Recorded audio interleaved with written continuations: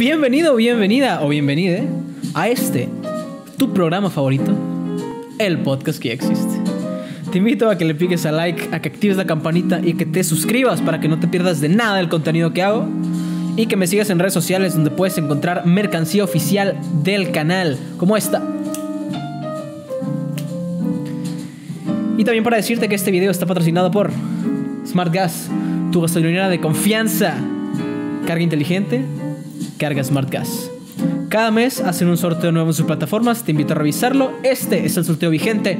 Si te interesa, pícale. Si no, pues no. Ahora, continuemos. ¡Rola el intro!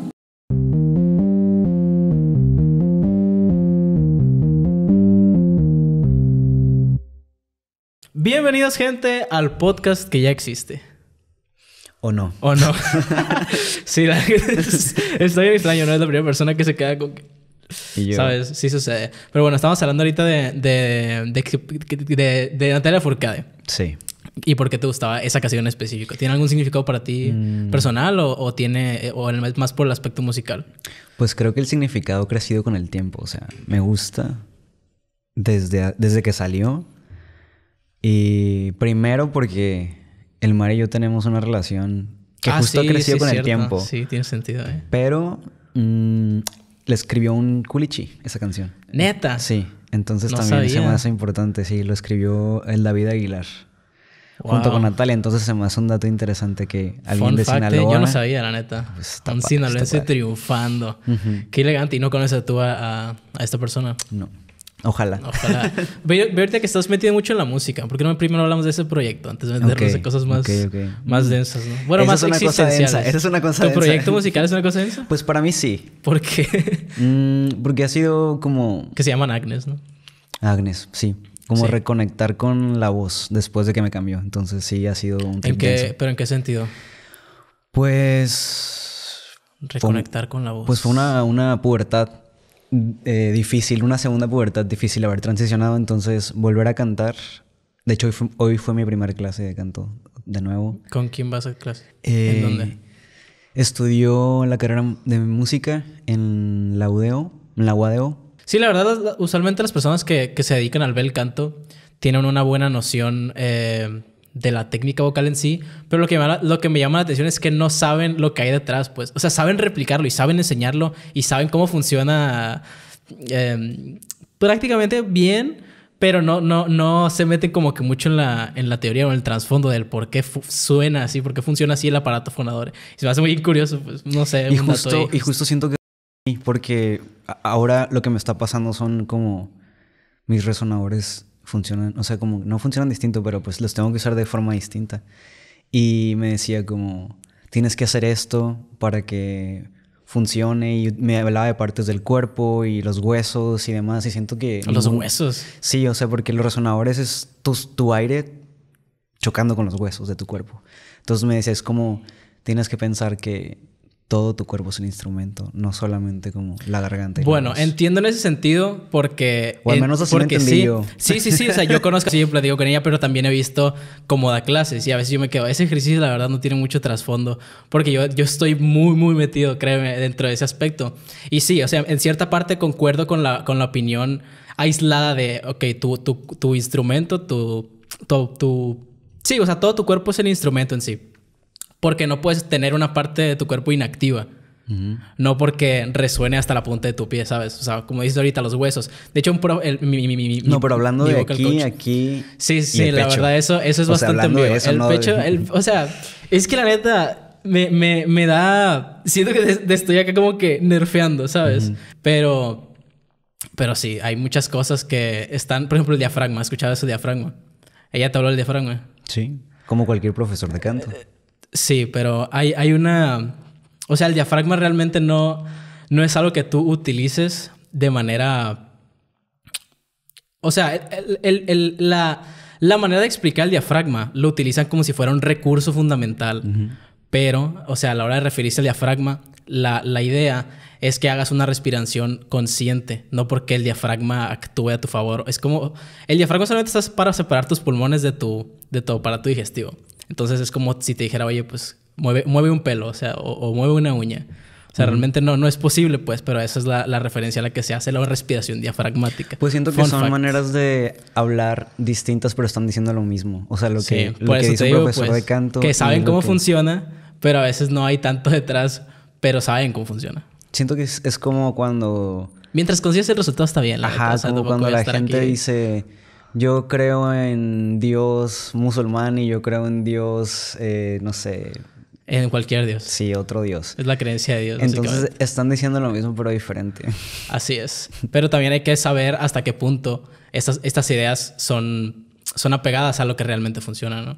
Porque hay cosas que a lo mejor no te pueden funcionar, como decirte, oye, pues todos los resonadores están en los huesos. Entonces siempre tu voz resuena hasta la punta del pie. Pero, pues, ¿qué tiene que ver el pie? O sea, si me mochan el pie ya no voy a funcionar. No. Pues no siento que realmente diga eso, o sea, más bien, de hecho justamente me decía como tienes que desconectar la parte de abajo eh, y poner atención a qué está pasando acá. Entonces, sí, o sea, creo que es una metáfora bonita hablar de que todo tu cuerpo es un instrumento, o al menos lo pienso yo así. O sea, te dijo que tienes que desconectar de la parte de abajo, pero si todavía tu instrumento es todo tu cuerpo. Ajá, sí, lo pienso como, pues claro, si mi, si mi si yo estoy habitando mi cuerpo, claro que tiene conexión todo mi cuerpo con cómo sea que vaya a sonar, aunque no esté chocando con mis pies. Eh, muchas veces cuando estoy ensayando, mm, si no estoy como en el aquí y el ahora y pongo atención en que tengo los pies plantados en el, en el suelo, no voy a poner atención al resto de mi cuerpo. En ¿Te ese has sentido. Fijado, ¿Te has fijado cómo cantan los trovadores? No. Usualmente utilizan un banquito. Y y bueno, no, no los trovadores, no es cierto. O sea, lo ubico por Leonel García, pues, porque Leonel García eh, tiene. Casi no escucho trova. No, no, no, ni yo. O sea, pero, pero la, la esencia de la gente que, que, toca un instrumento o que va a cantar sentado, para ponerla más prácticamente, porque también estoy. Estaría hablando sin saber, pues también. Y pues Leonel García es un ejemplo de que viene con esa.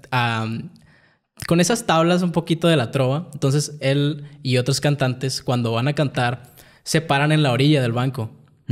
Entonces así no hay una desconexión total con su cuerpo y sienten que pues están firmes, ¿no? Entonces esa firmeza y esa proyección corporal te ayuda a la hora de proyectar vocalmente. Sí, es que en realidad si no te paras bien, pues también tiene que ver con tu espina dorsal, que pues igual y no tiene cosas que ver con cómo resuena el aire en tu cuerpo, pero sí tiene que ver con como con siento yo que yo sí he notado como si yo empiezo a divagar en mi mente, pues definitivamente no estoy conectando con qué está pasando adentro.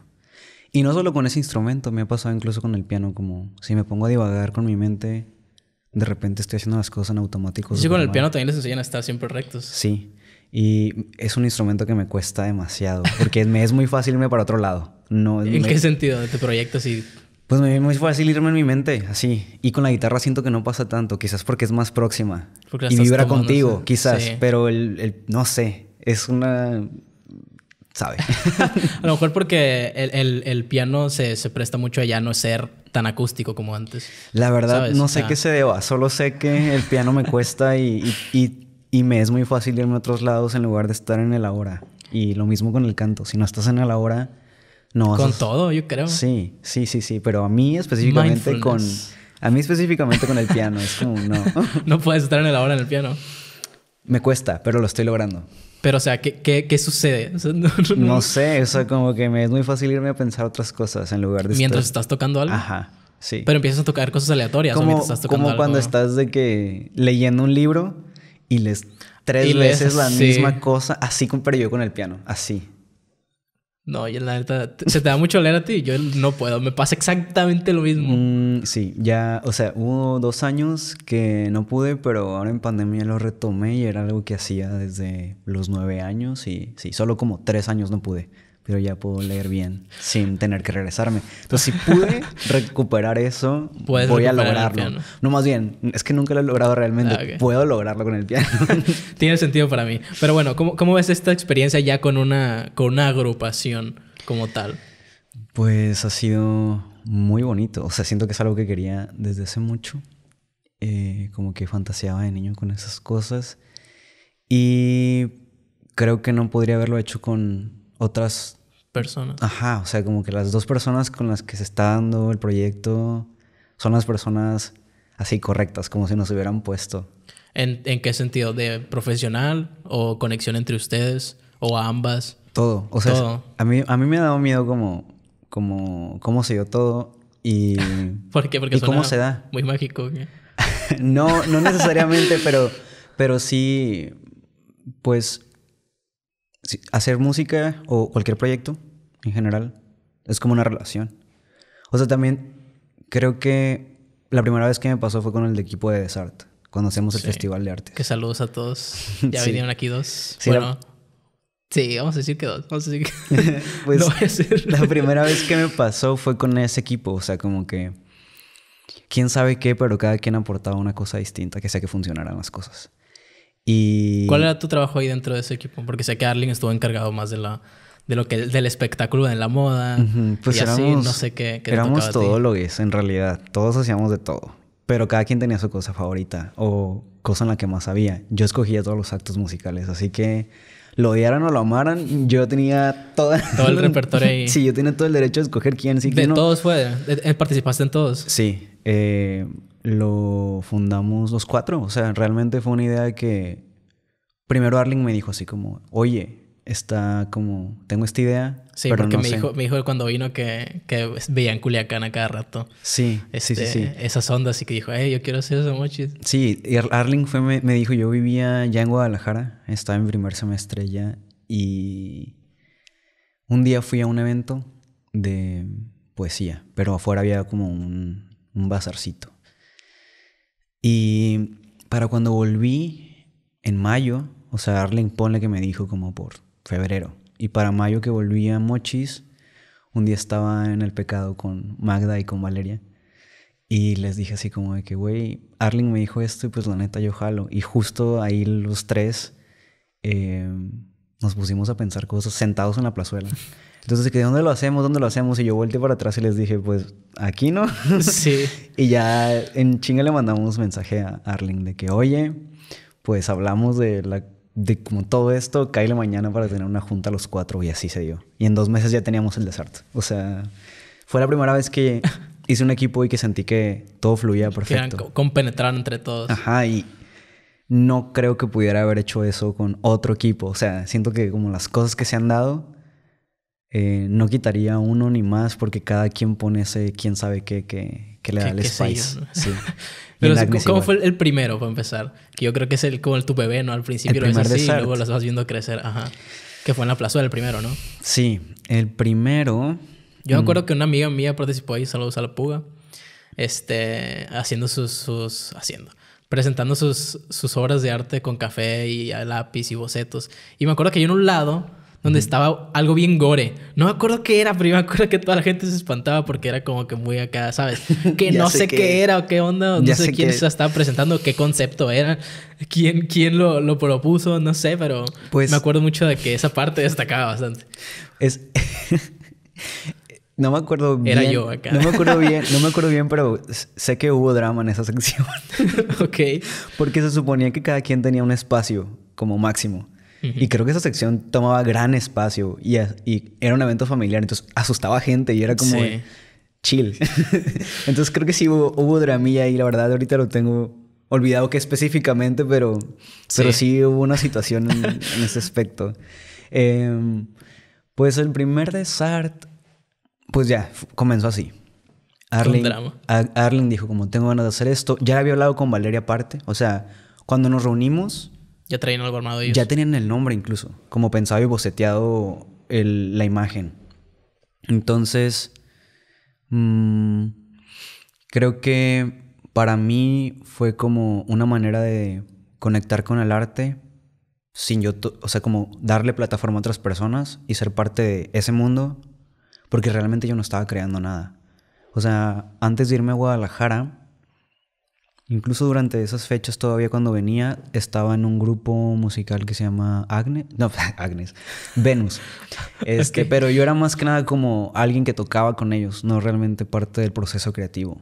Entonces, saludos a, a los Danieles, a Daniel y al Bon, este, al Doni. Eh, era un proyecto de Doni y de Bon. Este, y también estaba Mario. Y pues yo más que nada era como el, el que apoyaban ciertas cosas. Eh, y me divertí mucho, era un proyecto que... Es el quinto Beatle acá. Sí, pues ojalá. era el Ringo. no, el Ringo, ¿qué pasa, güey? Ringo de ídolo, Ringo. Este, pues sí, fue... Es un proyecto muy bonito, pero era un proyecto como muy cerrado. Tocábamos lo que llamaban los, los rituales. Entonces eran muy pocas personas. Y Era como los raves ahorita acá que bien underground. sí, Que nomás la gente que solamente ciertas personas y, Sí. y- y poner atención a qué decían las canciones. Entonces, pues a mí me gustó mucho ser parte de eso, pero pues sabía que no iba a durar demasiado porque yo tenía que irme.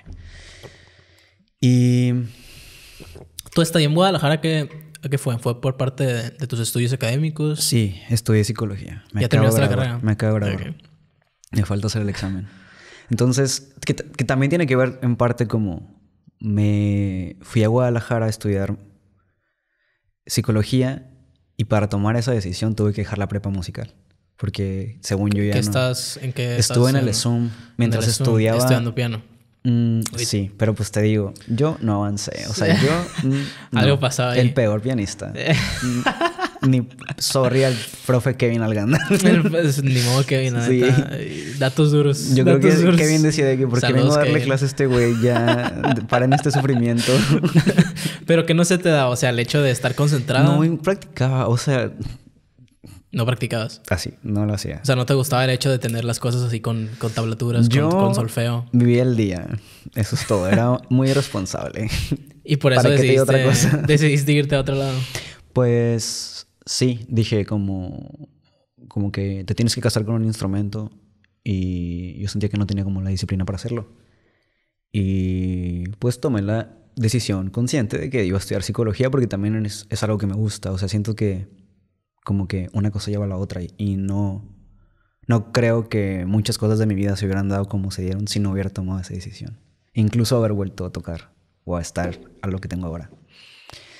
Tiene Entonces, sentido. pues haber dejado como todo eso de lado, creo que fue como que me estaba moviendo a mí de hacer desarte o ser parte de desarte. Sí, ser parte de un proyecto creativo. Ujú. Y Fue dar, lo que te incentivó un poco. Sí, y al final como que la idea que teníamos era, pues, que estaba dentro del del eslogan, del eslogan, perdón, como revolucionar el arte, como... Me acuerdo que en aquel entonces mucha gente que estaba dentro del medio de tocadas y así publicaban hate de que ahora resulta que todos son artistas, porque sacábamos preventivos de cada artista para que compartiera con su familia e invitar al evento. Eh, entonces, que ahora resulta que todos son artistas, güey. Pues justamente de eso se trata el evento. Como Sí, que te des cuenta que el compa con el que te echas las chelas en el bar hace arte y tu compa ¿Qué de es arte, primaria. güey, para empezar? O sea, Ajá, no se la pasa dibujando mientras está la clase de mate y, también el güey hace arte. Y luego se dieron justo estas cuestiones como de qué es arte, quién es artista, quién no. En, en Facebook, como la gente preguntándose eso, justo por tirarle al evento, pero también se me hacía muy padre que nos estuviéramos preguntando eso, que el evento Sí. como que... Cuestionar a eso. Ajá. Y, y justo es ahí como a- hasta qué punto, qué cosa es arte, hasta qué no. Y sí, el hate, lo que sea, pero a mí me gustaba que se diera esa, esa, como ese debate. Simón. Sí. ¿Cuál es tu opinión acerca de eso? O sea, ya metiéndonos más un poquito personales. Pues yo creo que muchas cosas pueden ser arte y muchas cosas pueden ser, muchas personas pueden ser artistas. Y ya cuando pensamos en profesionalizar las cosas, creo que estamos también pensando en capitalizar, como el arte es arte porque se crean cosas y como cuando dicen que las mamás hacen arte con la comida, cosas así. Mm, Pero hay algo que tú consideres que no, Creo que- no sea arte. el arte es como una forma de expresión, como eh, una necesidad muy humana de expresarte y utilizas la creatividad, llámese lo que sea, para mí, eh, para hacerlo. Y cuando hablamos, cuando tenemos estos debates de quién realmente es un artista, creo que estamos como hablando más bien como de cómo se entiende el ser artista bajo el capitalismo. Como si produces dinero, entonces eres artista. Si, si te escuchan millones, entonces eres artista porque ya estás globalizado. Sí, el Secan dice, güey, o sea, el ser rapero es la única manera en que te digan músico cuando no eres músico y, y te digan este, ¿qué más era? Cantante cuando no eres cantante. Mm. Y es como, Pues sí. estamos perdiéndonos en un río que, que no tiene incluso fin. el Zetangana sé que estudió filosofía. Ujú. Y no estudió nada de música. O sea, Ajá. el otro día un video, un TikTok donde lo están rosteando de que no compone, no toca ningún instrumento, no sabe producir. No canta y lo no escucha toda. España. De hecho, en una canción lo dice, o sea, como. Sí. No, ¿Cómo le que como que, la ¿qué canción creo que se llama Un Veneno y dice como. La prensa le pregunta como. ¿qué le ¿Cómo le haces para que te escuche toda España y ni siquiera cantas, güey? Dinero. Pero pues también el vato, ¿sabes? O sea, como que lo que hace tiene cierto. Ciertas. O sea, como que llama a la gente. Que también Sí. incluso dentro de la música es como. Que no sé qué tan inmergido esté él en, en ese rollo. O sea, me he topado entrevistas de él, pero no. O sea, no, en, un- en ningún momento como que presta estas cosas al, al- a la creación en sí, sino al- a, la producción o, o- o a opinar acerca de lo que está sucediendo a sus, a sus, bueno, a sus, a su poder. se podría Sí. decir. Está, está bien curioso, la neta, esos fenómenos. Pues igual pasa, siento, como en la. En la música. Entre más estudias música, más creas cosas que la gente regular no comprende. Y pues suene, puedes, puede sonar maravilloso para un oído entrenado, pero para un oído regular de calle, muchas veces como que. No conecta. Ajá. Y. Y siento que ese. Como que idealmente deberíamos llegar a un intermedio entre las dos. Como que algo que sea digerible para las personas, pero que también lleve como ese spice de que estudiaste. Eh, que justo hay una rapera feminista que me, que me gusta mucho como la historia de cómo llegó a hacer música. ¿Quién? Rebeca Lane. Es de Guatemala. No la conozco. Perdón mi ignorancia, pero sí. No, pues es, Puedes contar la historia de es. Guatem- es de Guatemala, es una rapera maravillosa. Saludos a Rebeca. Este. Y estudió sociología antes de. Bueno, primero fue activista, luego estudió sociología para aplicar eso. Yo creo que nunca dejas activista. O sea, si ya te sale la espina activista, nunca dejas de hacerlo. A pesar de que te Creo. dediques a algo acá. Ujú, Entonces, Pero sí. pues estudió sociología y cuando le toca como trabajar dentro de la sociología se dio cuenta que creo, no estoy muy seguro, pero creo que estaba estudiando como alguna cosa entre barrios de jóvenes con, a través del hip hop. No estoy muy seguro. Pero al final como de llevar como todo este estudio, sacó una tesis, me imagino, o algo así, un papel, que al final de cuentas las personas a las que había est- estudiado, o sea, como el objeto de estudio no podía entender porque estaba escrito con un lenguaje súper... Complejo. Ajá. Entonces fue como, ¿qué ando haciendo acá en la academia? Si al final de cuentas esto se va a quedar por acá y la gente como que me interesa estudiar porque estoy cercanos a ellos, no van a entender ni papá lo que estoy diciendo. Entonces creo que como que eso fue una conexión mental como para entrar al... a- como sacar todo lo que, lo que conoce dentro del arte. Y eso me gusta mucho. Como al final de cuentas, sí, el, como todo lo que sepas se queda en la academia y no baja a las personas de calle. Y pues si la- la- el arte es una forma de divulgación científica, pues qué padre, porque es más, es más común que alguien escuche una canción a que se lea un libro completo. Vale, madre que sí. O un disco, que igual está raro ahorita que alguien escuche un disco completo, pero, pero sí, la, la hora, la, la, la manera en que se distribuye la música también ya se ha hecho bastante negocio. En ese sentido, ¿cómo ves al reggaetón tú? ¿Tú crees que co- coincide con esta idea de la música que tienes? ¿O que, o que ¿Qué lo idea? acabas de mencionar? ¿Qué idea? La que acabas de decir, de que tú crees que la música debería tener estos factores de que, oh, tengo estudio y conecto con la gente. ¿O crees que eso sea una, una visión personal en tu trabajo específicamente? Pues creo que sí es una mezcla. O sea, definitivamente el reggaetón podrían decir así como. No son letras bien estúpidas. Este. Es música muy simple. Y realmente quizás sí. Pero detrás de ello hay estudios. O sea, hay personas que. Productores. Sí. que le echan un chingo de coco para sacar eso. O sea, pudo haber empezado una maqueta de canción bien X con un beat super X. Pero al final, el producto final. Sí involucra a muchas personas que tuvieron Sí. que haber estudiado Algo. marketing o lo que sea. Simón. Entonces, creo que el reggaetón podría ser una mezcla perfecta de cómo mezclas un chorro de estudio Sí. con un poco de calle. Pero ahí ya no, o sea, ya sería balancear el artista y lo que pasa después del artista. Siento que También Calle 13 es un poco de eso. Como que Sí. Residente es un poco de eso. Como un poco de calle con alguien que estudió arte, porque él sí estudió Sí. arte. Pero ahí estás hablando de una persona específica, no estás hablando de toda la producción. Sí, sí, claro. O sea, tiene sentido, la verdad. A mí Residente tiene un disco que me voló la cabeza. La primera rola que escuché de ese disco fue en el FIFA 13, creo. Mm. Que está bien raro porque a veces estoy en una peda y le digo, eh, esa rola sale en el FIFA. Y acá sale Lorde o Dua Lipa o Sam Smith y me dicen, ¿qué pedo? ¿Cómo sabes eso? Y yo, datos duros. Pero sí, el disco este era un concepto que ahorita como que el rollo Santa Fe Clan también anda más o menos así, pero con México. Que basaba más o menos como que los sonidos de diferentes tribus alrededor del mundo adaptados a un género con el que todos puedan conectar. Y me parece algo... No, no, no sé cómo se llama el disco. Ya sé Pero- cuál, sí. pero sí me gusta Es mi bastante. favorito de él, ni siquiera porque sea el mejor de él, que no es el mejor de él. Igual si nos podemos hablar de qué es lo mejor de alguien. Es como... Pero me gusta por la historia que hay detrás. O sea, según yo, si no estoy mal, porque creo que sí hablamos del mismo, es un disco que él hizo porque se hizo una prueba de ADN y fue a todos los lugares donde Sí. salió Ujú. de que de- era de él y hizo música como nativa de ahí. Simón. Simón, sí. Sí, sí, sí. Y se me hace muy, ¿sabes? Muy OG. Sí, muy- me pone muy- la piel chinita algunas. Hay un documental en Netflix de Neta, este. Sí, lo puedes ver. Lo voy a ver, véanlo Sí. también. Al, al final pido que, que, que recomienden una pieza de arte. Ya no puedes decir esa. Y Pues yo ya. tampoco, Ah, ni modo. fuck, ok. Pero sí, regresamos al desart. O sea, tú, tú ve- veías como que esta necesidad social de que se hiciera algo. Antes, ¿Había algo antes del desart? O sea, como de ese giro. Fue el primer bazar de ese estilo, según yo. Sí, o sea, como que Que tuviera todos Y esos de rubros. artes creo que ha sido... Ah, no.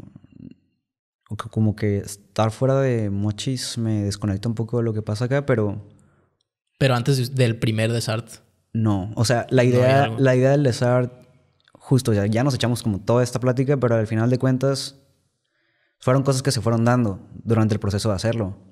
Antes de hacerlo era esta idea de ¿Qué dónde falta? exponemos si no hay lugares. O sea, como las personas que exponen son en un museo y para acceder al museo como que tienes que tener... Tienes que cier- capitalizar Ah, ¿no? ajá, el como arte. tienes que ser hijo de alguien o, o tienes que tener como cierto nivel artístico y Una no- validación social. ¿no? Ujú, O como ya tener años de expertise o haber estudiado algo, o una lista de espera. eh, o muchas veces nos como que decir, ay, voy a ir a un museo como que te da miedo y, y te repele y no entras. Y justo eso era lo que nos movía, como, ¿cómo hacemos para que estos artistas chiquitos crezcan? Sí, que de ahí salieron varias personas. O sea, fue Krishna, fue Brati, Sí, sí. fue Sailor Fag. Sí. Que Sailor Fag en ese entonces ya también estaba empezado. No Sí, sé quién más habrá estado ahí. Eh, pues hay Eh, varias personas Ramona que Drag Queen también. también. Sí. Que no era lo mismo, pero... Hay varias. por su arte. Pues también, o sea, todo el arte que, que Ramón hace tiene que, o sea, como todo lo que llevaba de arte tiene mucho que ver con cómo construye a su persona en, en escenario. Sí. Y Belmar también, siento que es tatuador, pero pues también hace muy buena fotografía, este, muy buen maquillaje. Eh, pues hay varias personas ahí que, que estuvieron en Desart que Que están invitadas al programa. Sí, o sea, creo que también se creó como una comunidad, un ecosistema de artistas que no pensábamos que eso fuera a pasar, pero fue un ecosistema de artistas interesante. O sea, Ramón justo me decía al inicio de nuestra amistad, porque nos hicimos amigos realmente por, por Desart, como de... Él había expuesto fuera del país alguna vez. Y me acuerdo que me dijo así como, yo no pensaría que mi exposición favorita sería abajo de un De un árbol. de un árbol ¿no? sudando en- alrededor de chamaquitos de 15 años, cuando pues he expuesto obras que tienen tal como precio en tal lugar y pues se supone que debía haber disfrutado más esas cosas que esto. Entonces pues yo me sentí muy halagado que he hecho eso porque lo admiraba mucho, lo sigo, le sigo admirando mucho. Em, pero sí, creo que, que nos movía eso y justo, sin esperarlo, una semana después de haber hecho Desart, el primero, nos habló Claudia, Claudia Bañuelos, que era la directora del IMAC. En mi opinión, la mejor directora del IMAC que ha habido. Ok. Saludos a Claudia. Este, era como, de a partir de ahí se volvió nuestra madrina para todo. Sí, la queremos mucho. Pero nos habló como de cómo lograron que tantos art- artistas estuvieran en la plazuela en agosto, en medio de el calor y de dónde, aparte de dónde lo sacaron, porque yo les ruego para que vengan y, o sea, no, ¿cómo le hacen? Y nosotros, la magia del internet. Sí. sí, pero, pero bueno, no nomás eso. O sea, tengo que, o sea, no tengo que reconocer ahorita, sino como siempre lo hemos sabido, también era la magia de, del diseño de Valeria Flores. O sea, Valeria. Flores y Armin. ¿Crees que tuvo un papel importante a la hora de marketización, Súper, todo o lo sea, visual? lo- no creo que tuvo un papel importante, más bien fue como Fue todo. determinante. Sí. Eh, para mí, el equipo que hacían Arling y Valeria de, de diseño era. Wow. Sí. Wow, wow, wow. No pudo haber sido Desart lo que fue sin, sin, e- sin ese trabajo tan grande que, que había detrás para la imagen. Sí, la neta, o sea, lo más, de lo que más me acuerdo eran de las imágenes. Sí. O sea, hacer- y pues, aparte, yo creo que es como que esa, esa, esa, eso que tratas de explicar de que entre gente conocida, pasar la voz, en vez de esta institución que ya ves como que hacia arriba, desde un inicio, lanza una convocatoria para algo específico, ¿sabes? A lo mejor también eso ayudó al, al, al que con este proyecto conectara a tanta gente. Y mucho menos esperábamos que otras personas de otras ciudades vinieran. O sea, Krishna es de Culiacán, este, Brati era de Culiacán. Que bueno, en esa vez, aunque, se, eran tres, ¿no? aunque se pasaba la voz, ah, o sea, como de uno en uno, también fue que un diciembre yo me fui para allá a buscar bandas. Porque, por ejemplo, el tercer Desert fueron solamente, eh, creo que solamente fueron bandas de Culiacán. Pero porque el, el diciembre anterior a ese me fui a buscar. Ah, Porque la escena de aquí como que se estanca. No, no crecen los proyectos o se comparten integrantes de bandas y no crece realmente un proyecto serio. Y en Culiacán sí. En ese momento había muchos proyectos que yo veía crecer y que se planteaban como algo serio. Entre ellos este, Los Norte, Coco, Brati, Space Atlas. Sí, eran, eran muy buenos. Un triángulo estuvo en el primer Desart y le- yo los conocí porque le abrieron a Siddhartha, como en 2015. A la madre. Entonces sí, allá se crean más proyectos. Más talentos. Que ahorita, ahorita andan. ah, yo conozco bandas de aquí que van en proyección, pero yo creo que no. Sí tiene sentido que no, no se vea una proyección de aquí salir algo. Ujú. Está, está bien curioso. O sea, ¿crees que en ese sentido hay alguien aquí que, que tú ya has visto potencial? O sea, de mochis, no necesariamente de música. Tengo muy perdido la escena artística de Mochis ahorita. sí. ¿Cuánto tiempo estuviste fuera?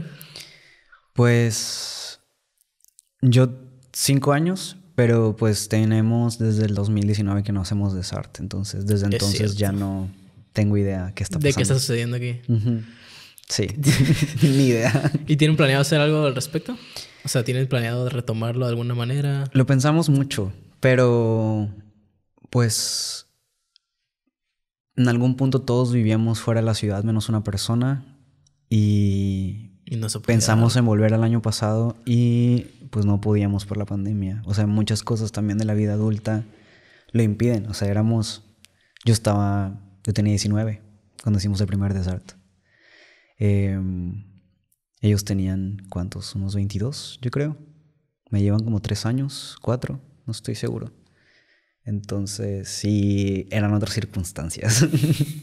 Tiene sentido. Además, mucha gente cree que por Desar ganábamos mucho dinero, pero realmente, ojalá, o sea, yo creo que lo único que le sacábamos eran la- las playeras y cuando mucho, porque se terminaba pagando casi todo. Sí, o los sea, viáticos de la gente también a veces. pero terminaban siendo parte del, del evento en sí, porque no o no cobrábamos nada, en el primer evento no cobramos nada por piso y los siguientes, o sea, como los siguientes dos eventos, sí cobramos, pero justo para mantener el evento, porque crecía y crecía, pero no había apoyo de gobierno y no había apoyo privado, entonces quien nos patrocinara, pues era lo que lográbamos y el trabajo que se hacía de diseño tenía un costo... Sí, sí, sí. Enormísimo. O sea, Sí. alguien que vaya a hacer eso va a cobrar un huevo. la pero neta. pues lo Pero hacía por amor al arte. ajá, sí, sí. Y el trabajo de logística, pues también nos aventábamos de Sarde en dos meses cuando esos, esos proyectos en, en el IMAC para realizarlos los tienen planeados un año antes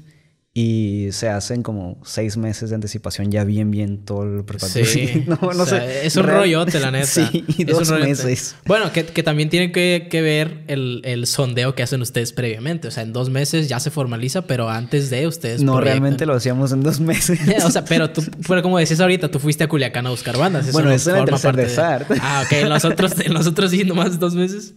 Wow. No, la neta sí tiene un mérito muy grande. Yo creo que también en el la, necesidad de, un lugar permeó durante un tiempo también. Porque pues vimos el Conflace Norteño que también fue un, proyecto parecido, un proyecto que vino a suplantar esta falta de, lugares en los cuales exponerse. Y pues tuvo apoyo también, pero no hubiera sido yo creo que lo mismo sin, sin el, ¿sabes? El preámbulo de que esto existía gracias al desastre. sí, sí, sí. Y, y sí se extraña, la neta. Sí se extraña el, ir a tener, ir a tener, sí, ¿no? Tener que ir a hacer algo. No.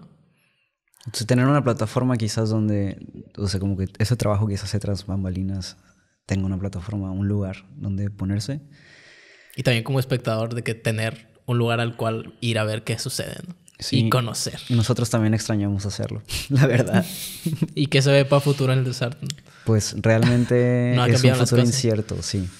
Sí. Sin spoiler alert.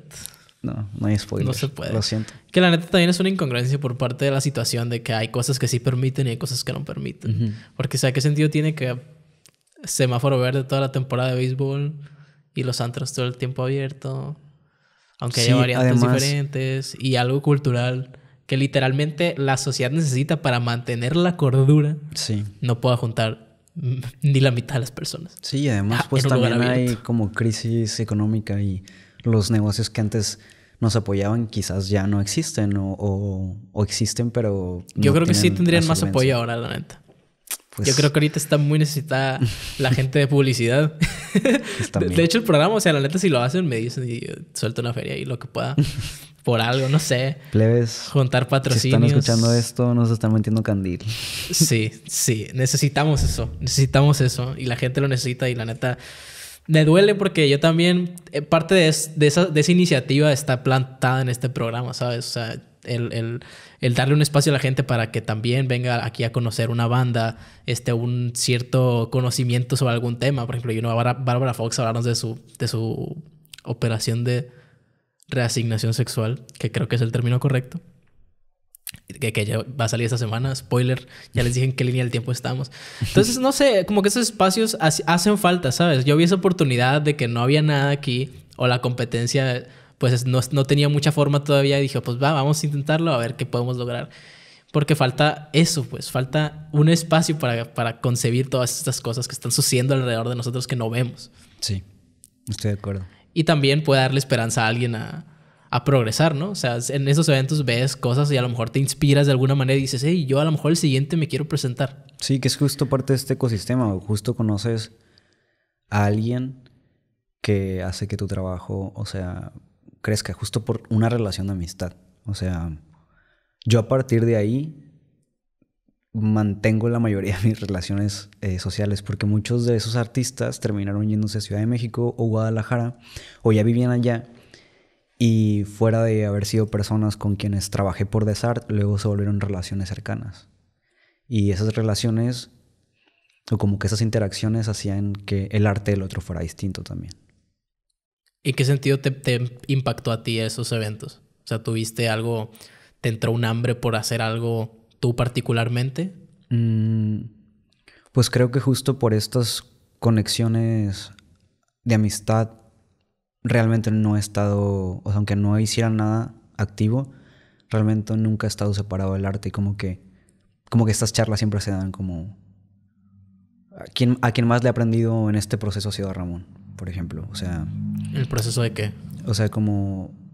Es un artista que yo admiro mucho en todo lo que hace entonces, creo que escucharle hablar de arte y escucharle hablar de por qué hace las cosas, cómo piensa las cosas, cómo su proceso creativo, acompañarle en eso, me ha enseñado muchas cosas de cómo yo puedo, yo puedo aplicar como en la cotidianidad de esto, incluso cosas que no tienen nada que ver pareciera con arte, que platicábamos en el día a día como que se expresa en las, en las cosas que hacemos, no sé.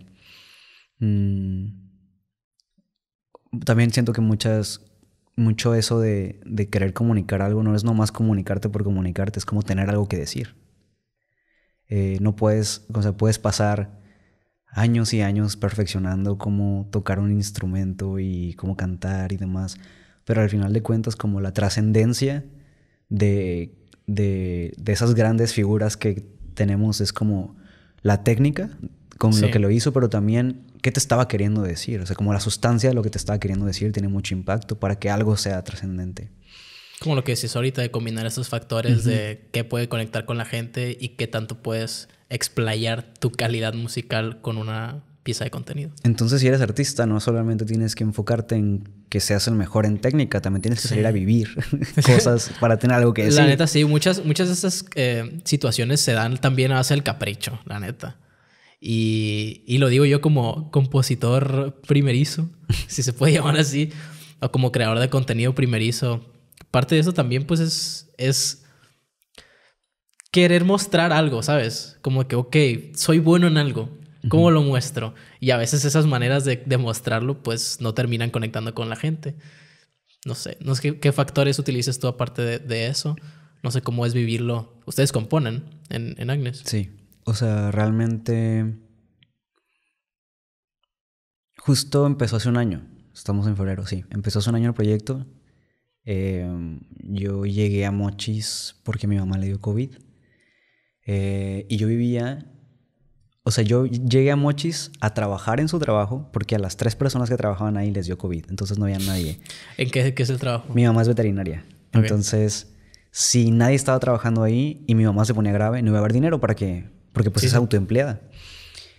Y yo vivía en un departamento de un amigo de mi mamá mientras ella estaba en mi casa para no enfermarme yo de COVID mientras mantenía el negocio.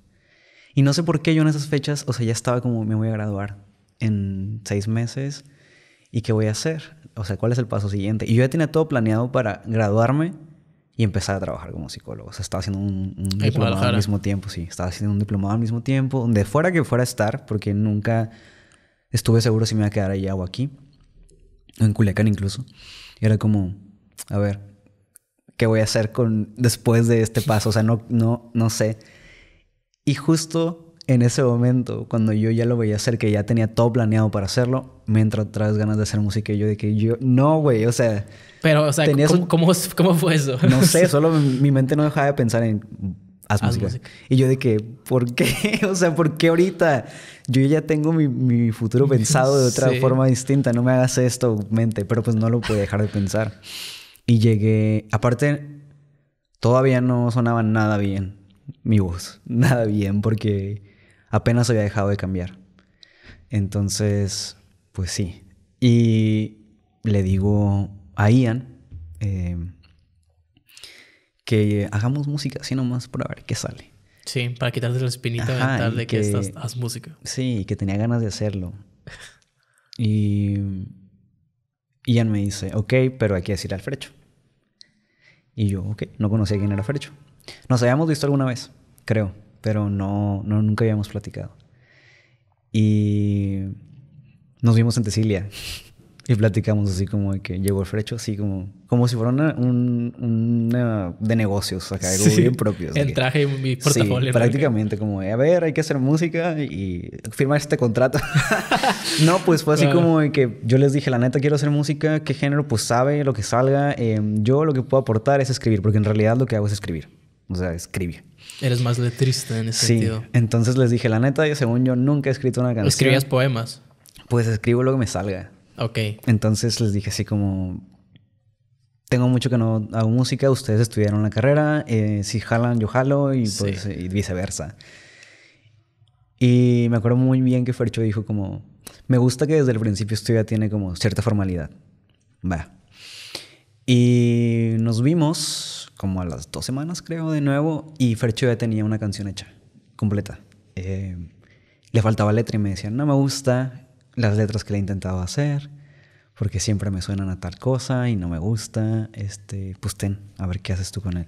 Y no tenía melodía, creo. Entonces Ian sacó la melodía en su mente, la grabamos con un teléfono, me la llevé de tarea y le escribí letra. Entonces fue así como de que se los presenté, yo bien nervioso, de que, les gustó y creo que ahí fue como, mm, ok, como que cada quien aportó su grano y mágicamente esto funcionó bien. Como a los mm, meses, dos meses, yo escribí mi primera canción solo. O sea, como una maqueta de una canción, guitarra y voz nada más. Y según yo no podía, entonces para mí fue mostrarme que sí podía. O sea, como Nunca que- habías escrito una canción antes tú. De broma, o sea, como de broma, pero nada serio. Sí, sí, sí, de verdad. Yo me acuerdo Sí. que escribía acá una de los chetos nomás. Sí, Sí, una tontada así nomás. Sí, sí, pero funciona. Sí, o sea, una vez... O sea, ¿por, por qué, ¿por qué se da esta, sabes? Como que esta diferencia de por qué puedo hacer algo en broma y cuando lo quiero hacer no sale. Sí, o sí, sea, sí, ¿por exactamente. Siento que nos bloqueamos nosotros Sí, nomás. o sea, no es que, como lo que te decía ahorita, es parte del capricho querer componer algo trascendental todo el tiempo. Sí. Cuando a lo mejor los artistas grandes nomás se divierten haciéndolo, o sea, nunca Pues vamos sí. a saber eso, ¿sabes? Me acuerdo que yo les dije, yo no me interesa en escribir canciones de amor, ¿eh? Y la canción que escribí solo era de amor. El 90% Bueno, de las canciones son pero- de amor. Pero sigue siendo amor. El caso es que pues ya quedó esa Sí. y se las enseñé y les gustó. O sea, fue así como arre. Y justo es la primera canción que vamos a sacar. Entonces, las cosas se fueron dando. La verdad es que los admiro mucho como artistas también ellos dos. O sea, digo que no podría haber hecho esto con dos mejores personas por la, o sea, por la capacidad musical que tienen, por el equipo que hacen ellos dos también y el tipo de personas que son igual. O sea, La ética de trabajo. pues ¿Qué hay no, o sea, la amistad, o sea, tener, tener un proyecto de este tipo es también crear una relación que se tiene que mantener y que habla de comunicación y, y más allá de qué aporta cada quien para el proyecto en sí. Y pues los admiro como músicos y también como humanos, o sea, Ian y yo nos conocimos a los 12 años en clase de guitarra. Ok. Y ambos antes de nuestras transiciones, o sea, nos llamábamos igual, para empezar. No mames. Nos llamábamos Wow. igual. Y nos gustaba Paramore a los dos, me acuerdo. Qué curioso. Entonces, nunca tuvimos un proyecto juntos, solo éramos amigos. Con el tiempo, so- o sea, cuando yo vivía en Guadalajara, casi siempre nos veíamos cuando venía para comer ramen. siempre eran nuestras salidas para comer ramen.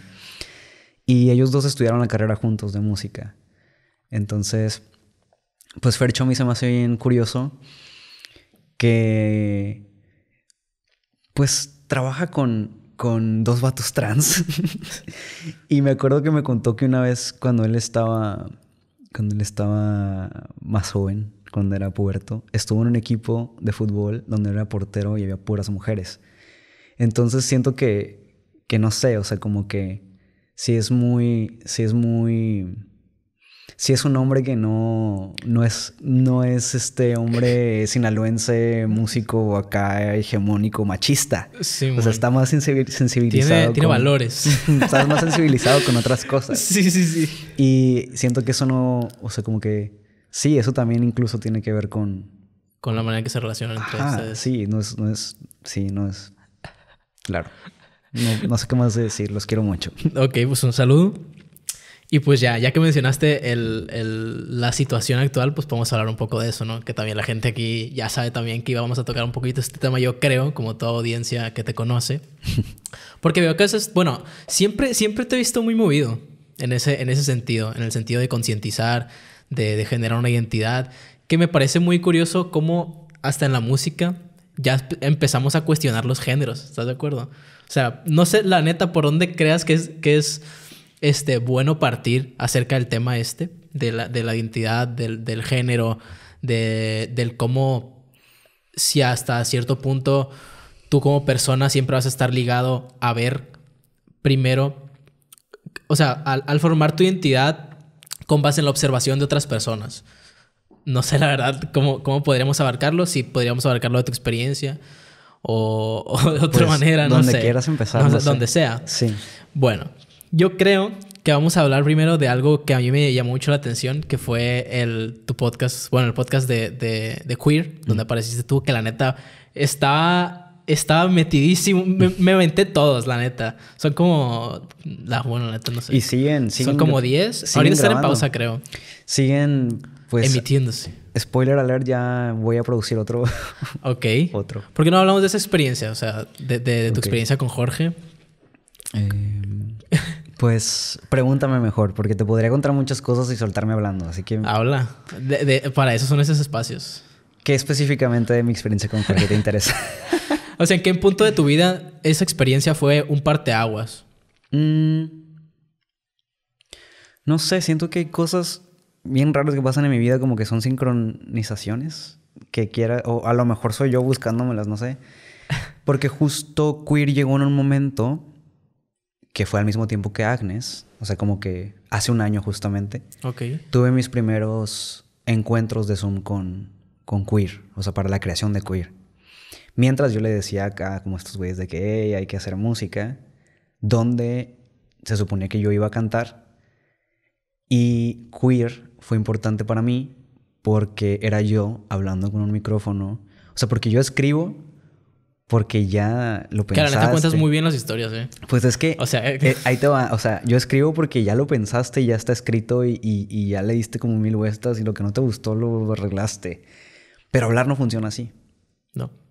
Entonces, yo estar enfrente de un micrófono y hacer las paces con mi voz, sí fue un trip que fui de- llevando de la mano con Queer. Ahorita, ¿cómo te sientes escuchándote? Ahorita que te Bien, o escuchas sea, bien, más, bien, bien, más bien, bien. cerca. Justo, es que justo de niño me decían como, tienes voz de locutora. Siempre me decían eso, como siempre era como algo distintivo la gente, mi voz. Desde, porque siempre era como, tenía voz muy ronca desde niño. Entonces, sabía que a la gente le llamaba la atención mi voz y les gustaba, pero como que a mí me costaba reconocer la voz. No sé, como que, ah, sabe. Y estar en queer fue como, como estar enfrente de un micrófono, hablar de lo que creía y como que al momento y se iba a quedar para la eternidad y lo que dijiste lo dijiste y fin. Como este programa. Entonces fueron siete meses de crear queer, como todo ese capítulo, porque pues no estaba, o sea, la relación de Jorge y mía crecía. Pero tú sabías que ibas a contar esa historia en queer. Ajá, o sea, Tú ya sabías que ibas a contar. para quien no sepa de qué trataba la historia queer, era como yo tenía la necesidad de conocer a alguien de la comunidad LGBT que fuera mayor que yo. Idealmente una persona trans. Yo vivo en Guadalajara, en una, en, vivía, vivo, vivo, me muevo por Sí. Y Guadalajara. Cronológicamente, sí. Sí, entonces, este, mi casa estaba pues en una colonia común, popular de Guadalajara. Y en pandemia, no, pues me, me fui a buscar por alrededor de la colonia alguien que me cortara el cabello y llego a la estética de, Jorge y pues llego y ve- lo veo con un cubrebocas de la bandera De LGBT bandera. y digo de que... mm. Entonces nos empezamos a platicar los dos y me dice que, bueno, le digo yo que soy trans. Y luego me dice que un tiempo también estuvo en hormonas y yo digo, a ver, entonces eres una persona trans, una persona gay, o sea, ¿qué pasa? Y luego me ofrecen hacer queer y les ofrezco a queer esta historia. Originalmente pues tendría que haber sido un pitch donde yo entrevisto a alguien y yo no soy parte de esa historia, pero se animaron a hacer esto de forma experimental conmigo. Entonces, Sí, que es un formato largo comparado con otros episodios. entonces realmente la historia se construyó a partir de cómo se construía también mi relación con Jorge. No era como que grabábamos, o sea, yo veía a Jorge casi siempre para grabar la, la historia. Muy pocas veces nos veíamos para, una o dos veces yo creo que nos vimos sin micrófono. Entonces lo que está pasando dentro del podcast es la vida real. yo llevaba el micrófono como tenía de tarea que si se me ocurría algo lo grabara. Hay muchas cosas que grabé que no llegaron por tema de que eh, teníamos limitado una hora, que me hubieran gustado que estuvieran como reflexiones que tenía. ¿Personales o en cuanto a la... Personales que tenían que ver con, como con las luchas políticas en las que creo o como cuestionamientos dentro de que tenía. Ah, donde se cortó la, la conversación, que él te dio su opinión acerca de limitarte eh, como hijo. Sí, o sea, sí, sí, también hay otras cosas como, como, ah, siento que no abordo dentro del podcast de Una que... postura sí. Ajá, Sí, solo sí como que lo, lo estoy cuestionando porque justo las partes de postura se cortaron, pero no porque hay temas, no, Sí, es sino por porque... cuestiones del tiempo. Ajá, sí. Si quieres, ahorita podemos, Hubiera podemos sido un concretar arco- eso, ¿no? También hubiera sido un arco como que... Cerrar que- toda la, la historia. no, hubiera sido un ¿O arco muy... que, que se iba a dejar abierto y no se iba a concluir de la manera en, que, en la que se podría haber hecho. Entonces sí hubieron muchas cosas de reflexiones mías que aportaron como, como es un ausente pero implícito. Es algo que está ahí, pero no sabes que está ahí Sí. en el podcast.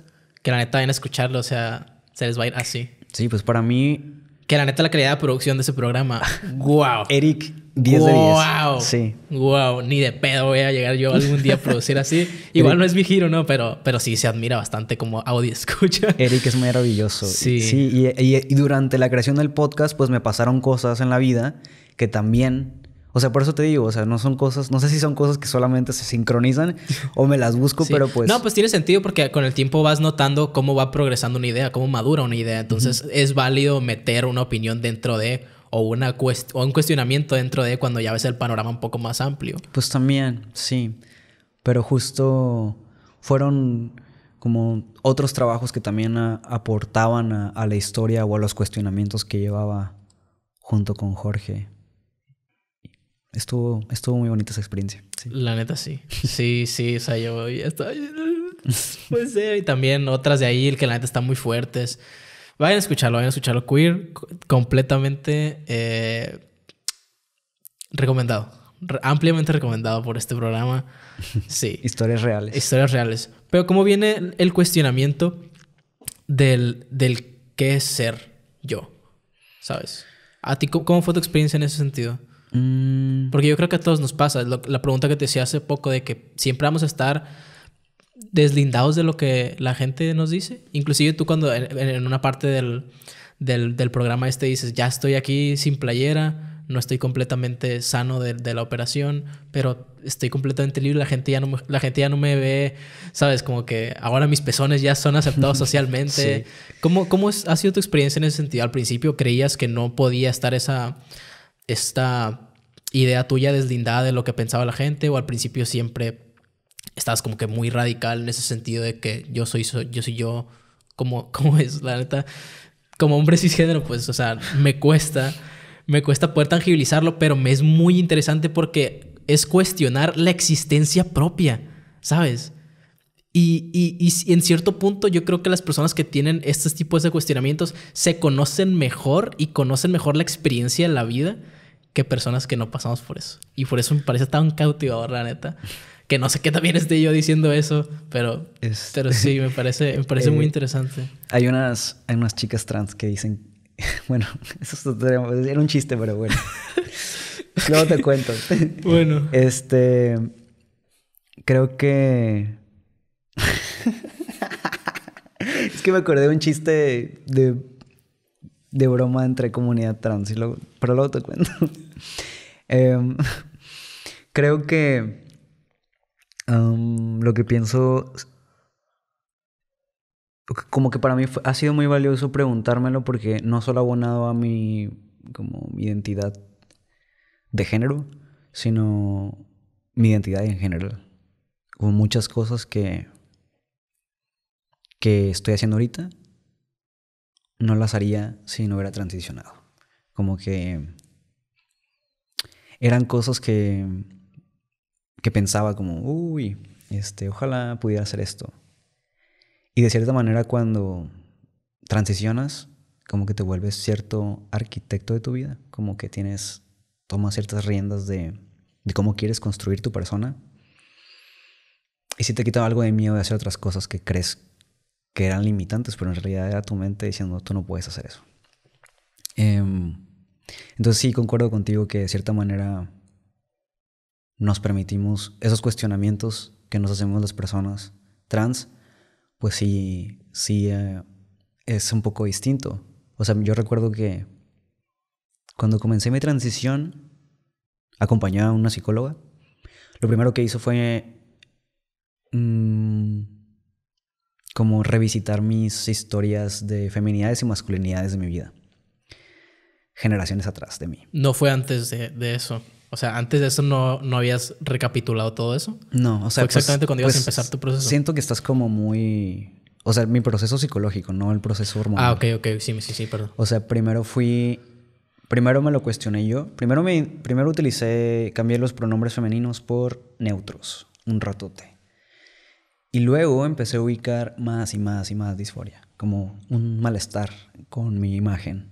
Sí. Que claro que tiene que ver con cómo te le, las. Tiene todo que ver con cómo me veían las personas. Porque cuando yo me fui a Guadalajara, era muy común que los hombres tuvieran como este molote membón de cabello largo. Y yo adelgacé mucho. Y tenía la voz muy gruesa. Entonces todo el tiempo me decían joven. Y primero me daba risa. Y después me empezó a molestar cuando nos equivocaban. Hasta que llegó un punto en que dije, como que no es normal que me moleste que no se equivoquen. O sea, como que me gusta mucho que me, que me lean como, como un hombre, como que me siento más como de este lado. Entonces, esa disforia la empecé a nombrar, porque quizás ya estaba, muy seguramente ya estaba. Seguramente ya estaba. Pero no, no tenía las palabras para nombrarlo. Yo quizás lo pensaba como, ay, soy insegura. Sí, lo Ay, asociabas con soy- esas ajá. inseguridades de tu cuerpo. O a la feminidad de estos, como, ay, soy muy masculina, no sé. Y cuando lo pude nombrar dije que, wow, ok, esto no es todo esto, es esto otro. Cuando pudiste nombrar qué. Cuando pude decir, ah, esto no es inseguridad, esto es disforia. Ah, ok. Entonces, pasa el tiempo, aumenta como mi noción de la disforia en el cuerpo.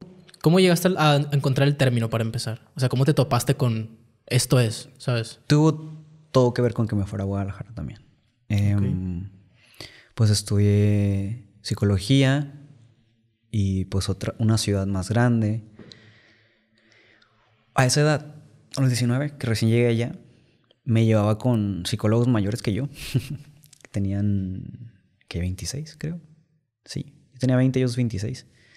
Y pues algunos eran sexólogos, algunos eran sexólogos. Y algunas de ellas eran no binarias. Entonces, justo esas personas, por allá del 2017, 2016, habían escuchado sobre ser no binaria por haberse ido a otro país. No era que no existieran aquí, sino que los términos eh, crecían más rápido y la, Sí, más el la barrera del lenguaje también como que lo, lo entorpecía. Porque en realidad en México están las mushes, por ejemplo, que son... ¿Qué es eso? Son una comunidad de personas de Juchitán, Oaxaca, que no se identifican ni como hombre ni como mujer, como una mezcla de las dos, no sé. Son personas que existen desde uh, antes de la colonia y se visten con ropa típica de su comunidad. Son nacidos hombres, entre comillas, pero toman un rol femenino dentro de la comunidad y la comunidad les abraza. Que claro que han tenido su historia, Ok. claro que han tenido su historia. También me tocó hacer un trabajillo, este, como entrevistando a alguien de allá, Elvis Guerra, es poeta y aparte es mushe. Y, y pues no es como que no, o sea, porque cuando empezáramos a escuchar sobre personas no binarias dijimos de que, ah, esto es nuevo. No, siempre ha estado, solo que No Pues al ojo hubo público hubo un proceso de, de aceptación social. no, ni siquiera eso, o sea, como que hubo un proceso de, borrado y de olvido con el colonialismo, porque en realidad esta idea de hombre y mujer comenzó en ese entonces. Y pues esta persona que conocí ya se nombraba no binaria porque tuvo opción de conocerlo en otro lado. usualmente se, en ese entonces se conocía más en inglés, porque fueron uno de los primeros lugares donde se retomó el término o se nombró de otra forma, porque se ha nombrado de diferentes formas. Y yo empiezo a cuestionármelo. Entonces, primero te digo, adopto el pronombres neutros, o sea, como ni hombre ni mujer. Y luego, Pero yo, yo hablaba de la disforia. sí, O sea, ¿es parte de lo mismo? ¿cómo? O sea, porque tú dices, ah, ya sé, ya me, ya, ya, ya me di cuenta de que es disforia, pues de que no es una inseguridad de mi cuerpo como una inseguridad cualquiera. O sea, ¿en qué momento llegó la disforia en sí a, a, a- establecerse como tal, pues? ¿Qué momento te diste cuenta? ¿Qué vivencia? O, o lo encontraste por ahí y dijiste, hey, me siento identificado con lo que significa esta palabra. Pues creo que estas cosillas que digo de que como, como yo, o sea, no es normal que alguien se equivoquen con su género y que se moleste, o sea, que al principio le dé risa y luego se moleste cuando no se equivoquen. Fue como que primer indicio. Eh, de niño ya había muchas cosas, pero justo como yo no me identificaba tampoco como 100% un hombre, o sea, tampoco, era- yo asumía como que, ay, soy una mujer muy masculina, punto. Entonces, también creo que tenía que ver como ciertas partes del cuerpo que no me encantaban y que yo unía con, ah, quizás soy insegura. Y no, tenían nombres, era disforia, no era como algo que tuviera que ver con la feminidad. Me acuerdo que me rapé por primera vez y pues sí, hay mujeres que tienen el cabello corto y son mujeres, pero en mi caso yo me corté el cabello en un afán de explorar la feminidad para encontrarme que en realidad era una exploración de la masculinidad. O sea, mi idea cuando me rapé fue voy a explorar la feminidad desde otra forma. Puedo ser femenina de otra forma, Ajá, como sin el cabello largo. Y descubrí lo contrario. Entonces, pues eso no tenía que ver con que las mujeres usan el cabello largo, sino como un proceso muy mío. Era eso tuvo por consecuencia darme muchas cosas dentro de mí que no tenían que ver con la feminidad, tenían que ver con otras cosas.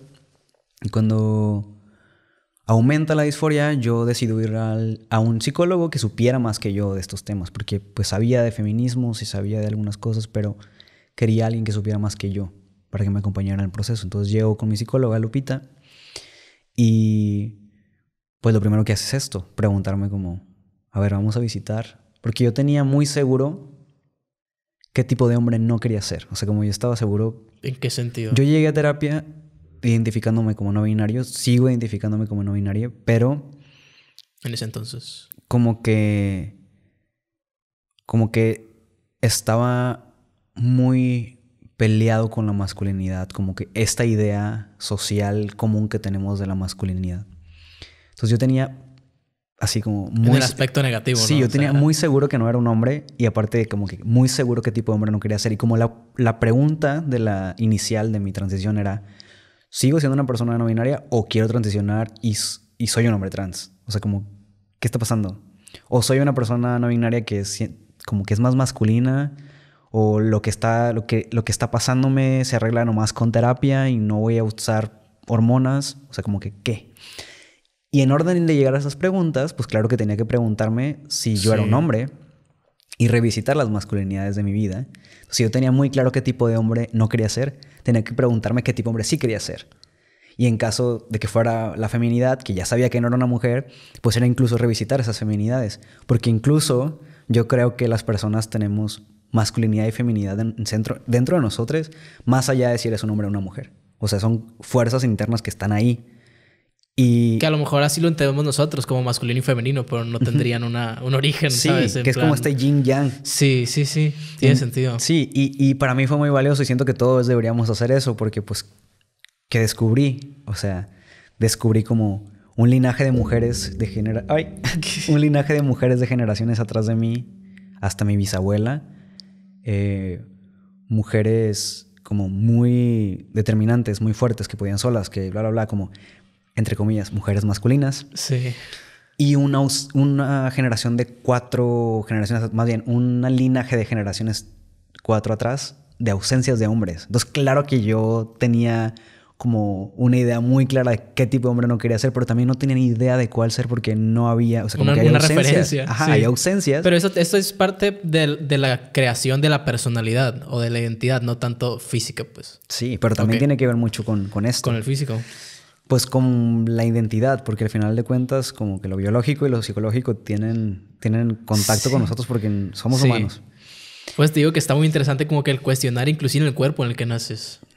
Entonces al final creo que estas cosas que me pregunta mi psicóloga tienen mucho que ver con no importa qué género seas.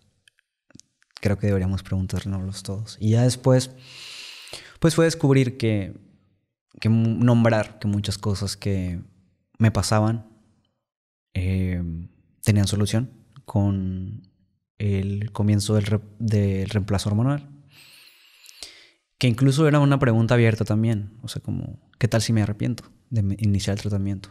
Con esto de no identificarse 100% como un hombre. Pero dije, nunca voy a saber si no comienzo. Y si comienzo, ¿qué es lo peor que puede pasar? Que lo pause. Y que los, hay unos cambios que no se revierten, pero pues no voy a saber. Entonces tomé el, la decisión. La decisión, me tiré al vacío y aquí estoy. y sigo en tratamiento hormonal después de casi tres años. ¿Y cómo te sientes? Bien, muy bien. ¿Sientes que estás viviendo un momento pleno en tu vida? O sea, ¿sientes que pues llenaste esas dudas que te faltaban o, que te sientes más seguro? Pues la transición es toda la vida, así como, como siempre somos seres cambiantes, Pues ahorita Dante ahorita te dice que, ok, pero Dante de dos, tres años, ¿Quién sabe? quién sabe. ¿Hay una relación en el tiempo de duración de la vida cuando alguien transiciona? Pues depende de cada quien. O sea, realmente como generamos mm, los que nos inyectamos testosterona, generamos menos testosterona que un hombre cis.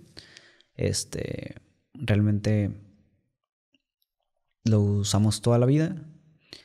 Eh, pero pues hay ciertas personas no binarias que solo desean cambiar ciertos aspectos de su físico. Que claro, no los puedes, o sea, es genética lo que cambia, no lo puedes controlar. O sea, si tú en tu familia hay gente que se queda calva con la testosterona, pues ni modo, tú también, no lo puedes controlar. Entonces hay ciertas personas que solo lo hacen un tiempo para que les- se les engruese la voz, para verse más andrógines. Eh, hay La personas... voz ya no es reversible. No. Ok. Y hay personas que... La barba tampoco. Hay personas que deciden... Más bien que tienen que para usarlo por problemas médicos. Entonces sí es muy subjetivo. Son decisiones de, de vida, en realidad, distintas para cada transición, porque cada transición es distinta. Wow. Que. No sé, es que no sé, me, me- parece tan, tan, tan interesante el, el- el cómo podemos llegar a- a estar tan ambiguos, pero tan a la vez tan concretos con lo que podemos llegar a hacer. Por ejemplo, si a alguien le tratas de explicar qué es lo no binario, ¿cómo lo harías? Así en plan, ten, esto es no binario. No me identifico o como mujer. Es como que siempre tratas de, de- de encasillarlo en algo, ¿no? De darle un sentido. Sí, ¿Cómo, cómo lo harías como- en ese sentido? Usualmente dicen, es un tercer género, pero tampoco, porque dentro de lo no binario hay como muchas identidades o como muchas maneras de entenderlo. Entonces creo que lo que yo les explico, cuando asumen que soy un vato trans y les digo que hey, soy no binario y se quedan de que, entonces, ¿por qué? ¿Por qué todo esto? Lo que les digo es como que, ok, hay una, hay como tu identidad, que solo tú entiendes, porque está dentro de ti, y es una lectura tuya de ti mismo. Y mi identidad podría decir que yo me identifico como una persona no binaria. Y luego está como la expresión de esa identidad, la expresión del género. Y en la expresión del género soy una persona un poquito más hacia la masculinidad. O mucho más hacia la masculinidad que hacia la feminidad. Y creo que así me entienden un poquito más. Y les digo así como, así como en tu casa quizás hay tres hombres, ponle. Y esos tres hermanos son distintos hombres, pues igual, o sea, No es no tuvieron los mismos papás, crecieron en la misma casa, bla, bla, pero son tres tipos diferentes de masculinidad. Pues así en el mundo, o sea, piénsalo así. Y creo que eso les aclaró un poquito más la mente de, ah, ok, entonces, sí, como que agarran más el rollo. Pero no, no sé, pero tú no estarías en esa categoría de hombre, pues. ¿Cómo? O sea, dices, hay tres tipos de hombre, pero ahorita tú te identificas como alguien no binario, sin embargo, alguien te podría percibir como un hombre con características, pues, un poco femeninas, ¿no? Un poco que- distinto. Pues sí, creo que más bien como lo he nombrado es como también otra manera de explicarles. Es, me siento más cómodo como un hombre femenino que como una mujer masculina.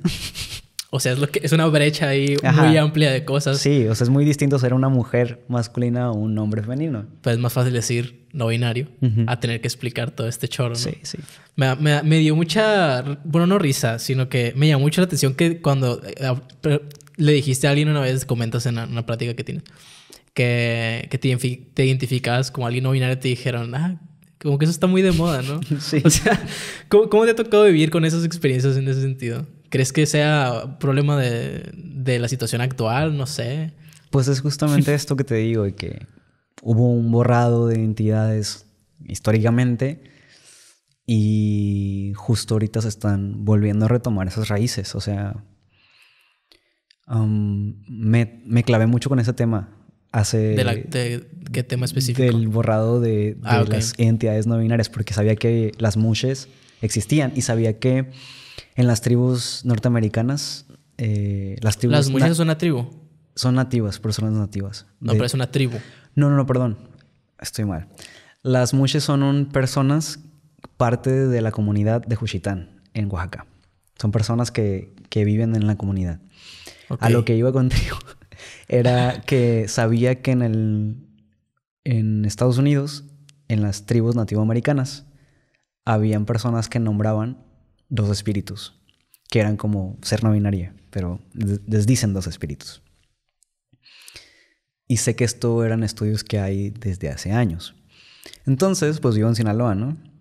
Están los mayos y los yaquis, los lloremes, que se van hasta Arizona.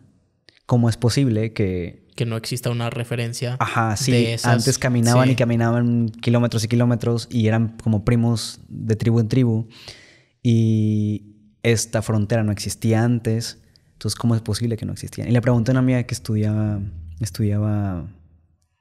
Fuck, ¿cómo se llama esto? es con A. ¿Cómo se llama? ¿Cómo se llama? ¿Cómo se llama? Antropología. Ok. Tengo una amiga que estudió, estudió antropología en Culiacán. De que, oye, tengo esta pregunta, tengo esta propuesta de tesis. Le dije, ¿tú qué piensas? Yo creo que esto, esto, esto, el otro. Y me dijo, sí, tengo una maestra nueva que tiene un estudio de los lloremes y habla de eso. Entonces sí, decía como, Em, claro que es a través de, los lentes del colonialismo, les llamaban verdaches, que es prácticamente una palabra como homosexual, sodomita. Como despectiva. Ajá. Pero eran personas que se. que. Pues los jesuitas que llegaron aquí a esta región vieron como en Culiacán, como en las costas, y eran hombres vestidos de mujer, usualmente. Como que se hacían pasar por como por mujeres para avisar de que ah, ahí vienen los guerreros o, o tenían roles sexuales eh, en las guerras, como que cuando salían los hombres, o tenían roles de adivinos, como de chamanes dentro de las tribus. Y me imagino que muchas otras cosas más, muy comunes. Pero pues todo esto lo sabemos porque quedó escrito y estas personas no escribían. Entonces mucho de esta historia quedó sepultada porque pues dentro de tanta, tanto borrado de historia, la historia oral fue una de las primeras que se perdieron. Entonces sí, en Sinaloa existían personas, dos espíritus, sí. Ok. ¿Y cómo ves el, la... Digo, ahorita retomando lo del... Lo de que te quedaste a hablar de ciertas posturas en, tu programa. Primero quiero abarcar el tema del lenguaje inclusivo. qué, qué, qué, qué porcentaje o qué parte de este... de esta eh, poner sobre la mesa lo que estaba en un inicio, que fue borrado, tiene que ver con el lenguaje inclusivo? Mm, ¿Cómo? Porque yo veo ahorita, o sea, no lo puedo ver deslindado de, de la comunidad LGBT, pues, el lenguaje inclusivo, que también parte de cuestionarnos el lenguaje, ¿no? Que también es interesante porque el lenguaje no, no es como que exista un lenguaje, sino que nosotros creamos el lenguaje. La RAE no existe, son los papás, siempre lo digo. La RAE anota todo lo que hacemos nosotros. La RAE no tiene una varita mágica o una dictadura que pueda decirnos qué o no decir. Entonces, ¿qué, qué, qué papel crees que cumpla el lenguaje inclusivo en la cuestión del movimiento LGBT?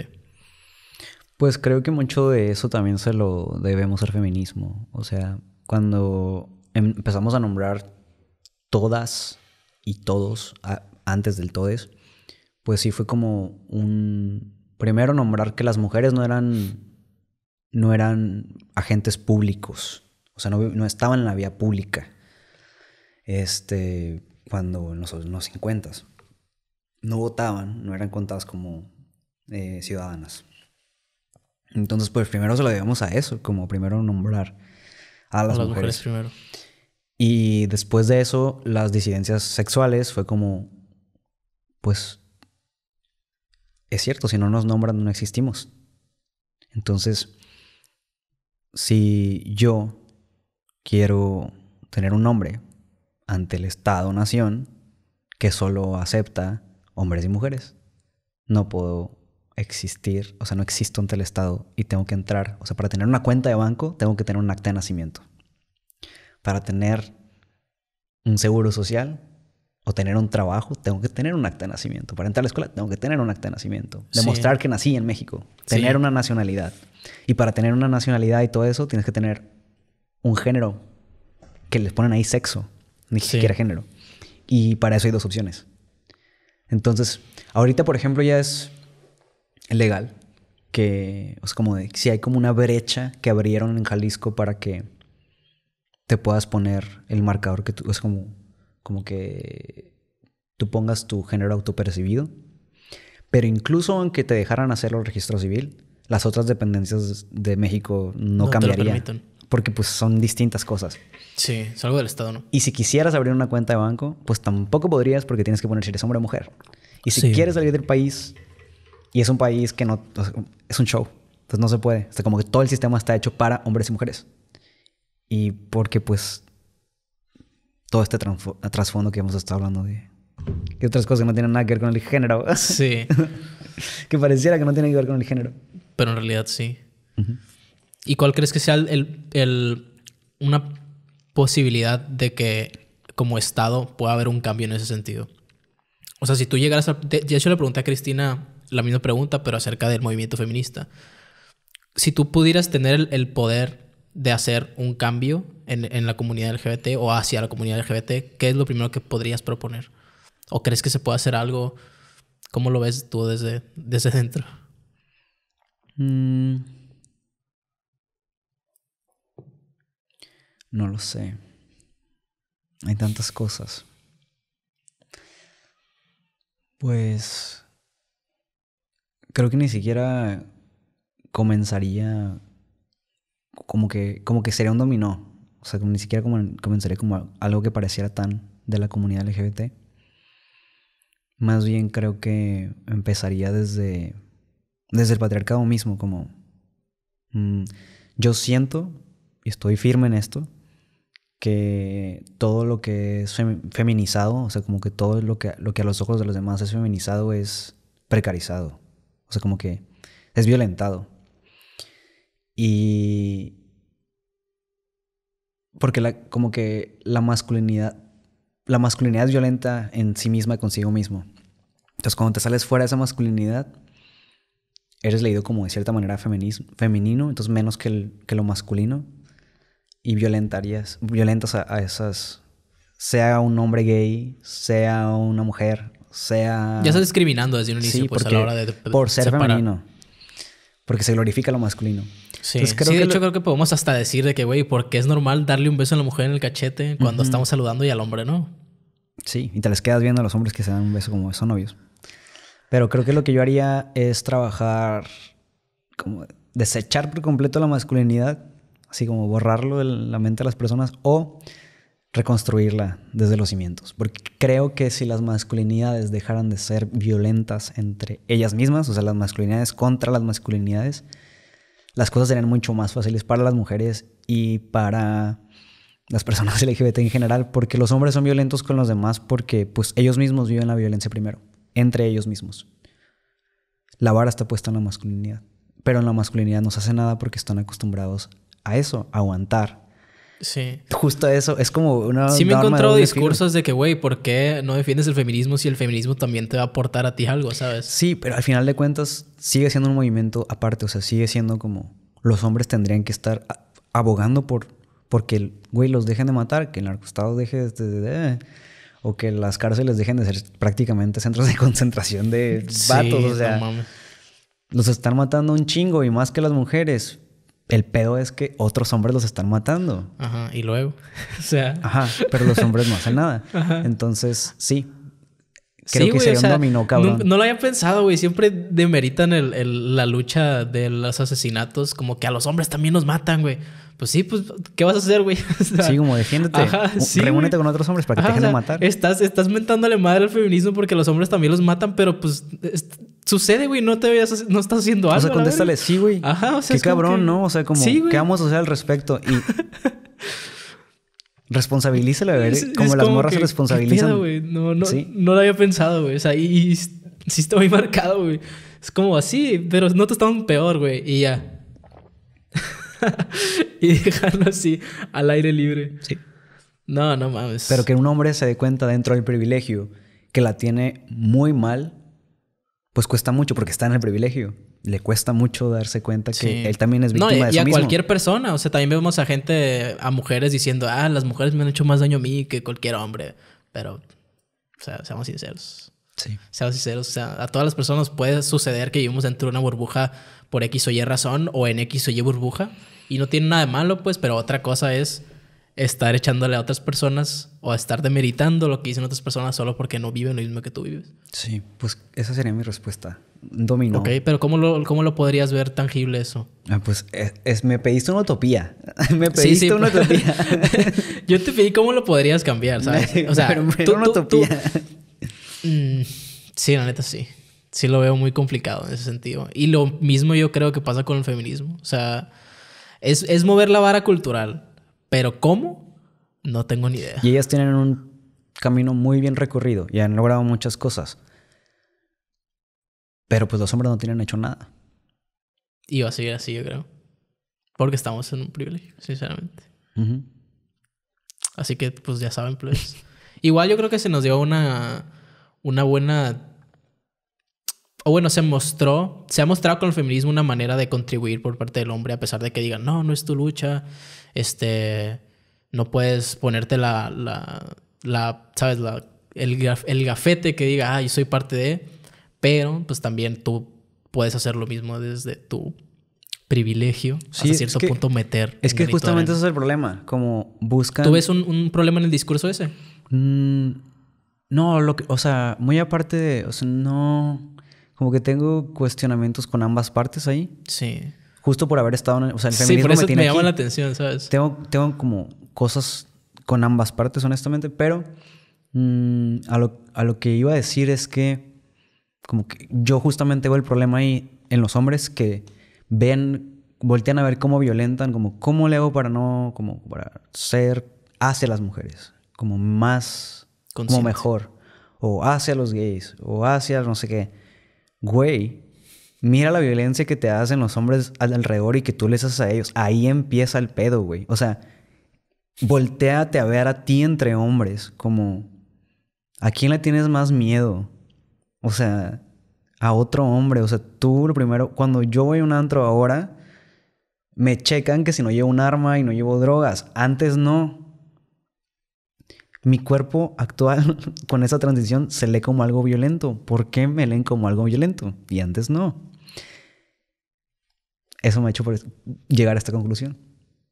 ¿Cuál fue la primera cosa que te llamó la atención a la hora de ya que la gente te ubicara con otra Caminar por la calle en la noche y yo cambiarme de acera cuando viniera una mujer pensando que la quería hacer sentir más segura porque yo había sido ella. ¿Y cómo fue esa experiencia? O sea, Pues nomás sucedió y dijiste, Pues dije- wow.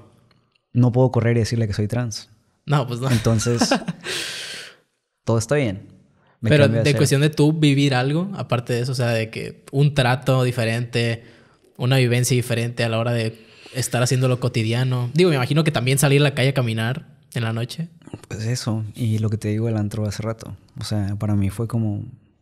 Me están tocando el cuerpo porque están viendo, o sea, me están asumiendo como alguien potencialmente violento. Wow. Esto no había pasado antes. Y es verdad, pero también es como hasta, o sea, como que hasta aquí tuvimos que llegar para que, sí, no sé, la masculinidad es todo un tema para mí. ¿En qué sentido? Pues un tema que no se ha explorado y que hay muchos cuestionamientos ahí. Sí, más allá de hablar de feminismo, creo que ahorita me interesa más hablar de masculinidades. Por ejemplo. Pues todo esto que te acabo de decir, güey. sí, Ya pues, hablamos- pero, pero, un chingo. pero, o sea, tú, tú a la hora de convivir con hombres también, o sea, marcas esa pauta que dices. Por ejemplo, eh, cuando hay algo que no te gusta, dices, hey, cálmate. O, o no sé, tú viéndolo desde la perspectiva de que ya viviste ciertas cosas y la perspectiva de que ves que es el problema en la masculinidad en sí, ¿cómo, cómo, lo, cómo lo tratas, pues? Sí, pero pues también hay espacios donde reconozco que si Que no es el momento. señalo, me pongo en riesgo también, porque al final no soy un vato cis. Entonces me ha tocado ir en un Uber y que empiezan a decir mamadas sobre mujeres. Y, o sea, como al inicio de mi transición, antes de que pasara por completo, am, como que decían algo y yo estaba como que no, no digas nada mejor. Síguele el rollo porque no va a ser que te descubran y pues vas en un Uber con un güey.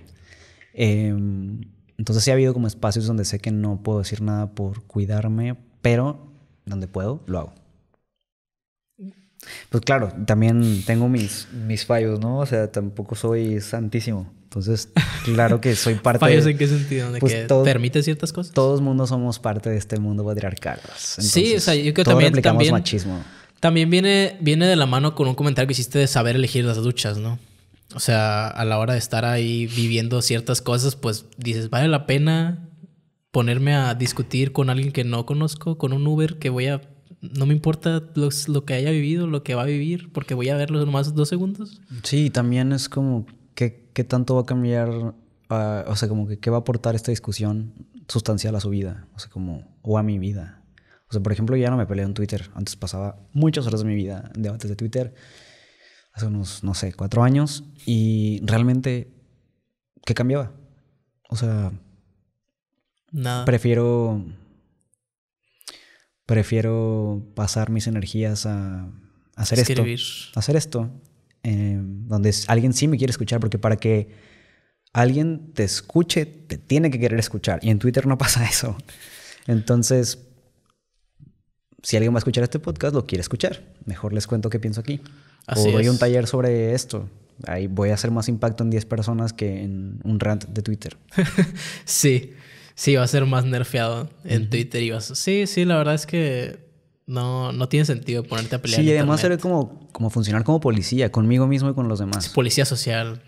Pues sí, o sea, sí, la gente comete errores todo el tiempo. No somos perfectos, estamos desaprendiendo un chingo de cosas.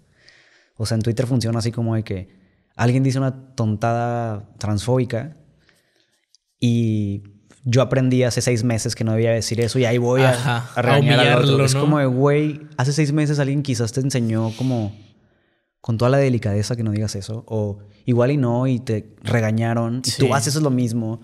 O igual y no y viste cómo fula- funaban a alguien. Entonces tú aprendiste porque funaron a alguien.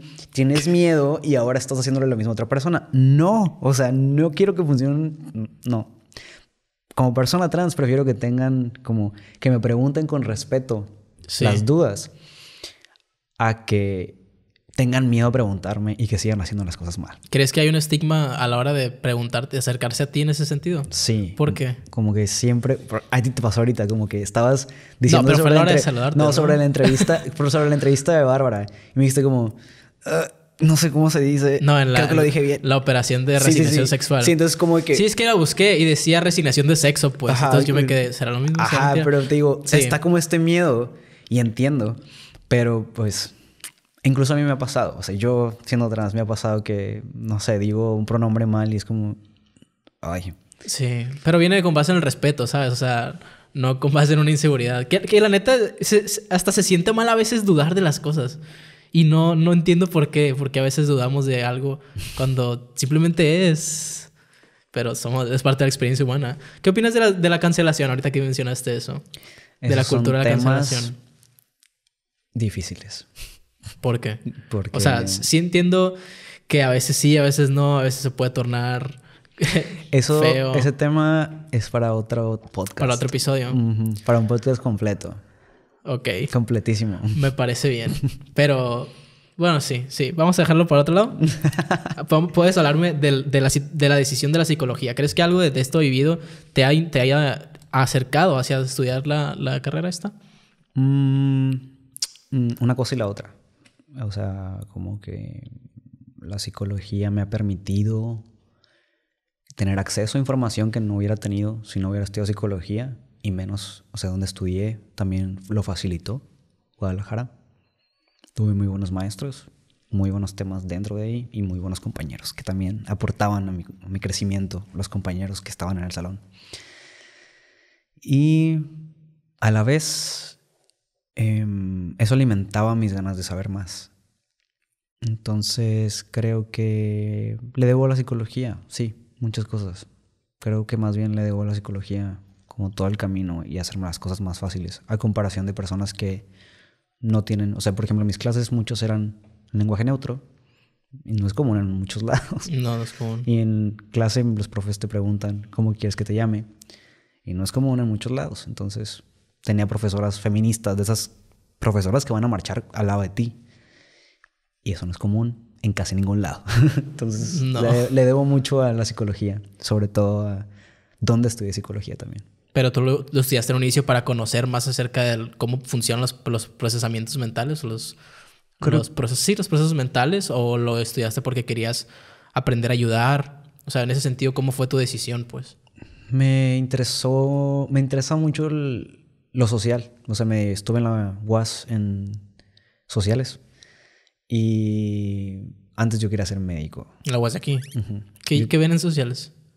Vemos derecho, psicología, vemos ética, vemos filosofía, muchas cosas que tienen que ver. Entonces estudias como... Es como analizar el comportamiento de las sociedades. Muchas cosas, escuchas... Sobre todos los rubros. Sí, como todas las ciencias sociales, como, como un poquito de, de, todas las cosas. Y dije, esto es mío, porque la psicología, pues sí son procesos psicológicos internos, pero también... Tiene un cuestionamiento del por qué detrás. Ajá, y como te posiciona en el contexto social actual.